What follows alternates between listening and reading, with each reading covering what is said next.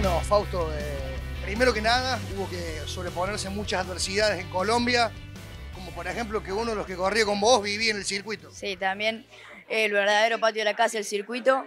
Eh, bueno, pero lo pudimos resolver bastante bien. Eh, sobre la marcha hubo un cambio en el anexo de- de- del campeonato.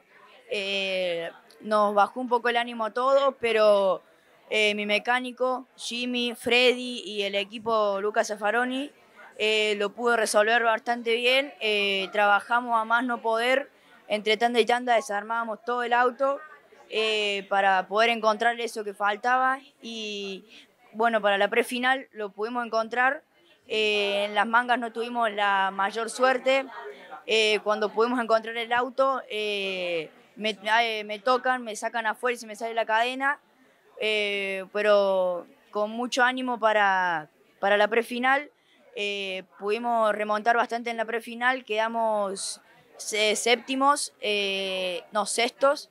Largamos la final sexto, nos tiramos por afuera y podemos manotear el trencito y fuimos, fuimos yendo y pueda poder avanzarlo mejor.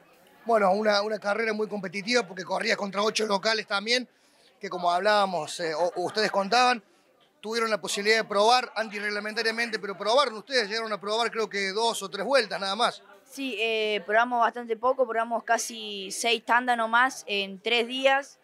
eh, y bueno, y pudimos ser los protagonistas hasta que fue ese inconveniente, pero lo pudimos resolver bastante bien. Bueno, también el cambio del escape, ¿no? Eh, ahí, ahí les jugaron una mala pasada. Sí, ahí nos jugaron una mala pasada, si no éramos muy candidatos para ganar el cupo, pero bueno, eh, pudimos hacer lo mejor que pudimos y, y y conseguir un puesto. Bueno, un tercer puesto, que no es poca cosa a nivel sudamericano. Sí, demasiado.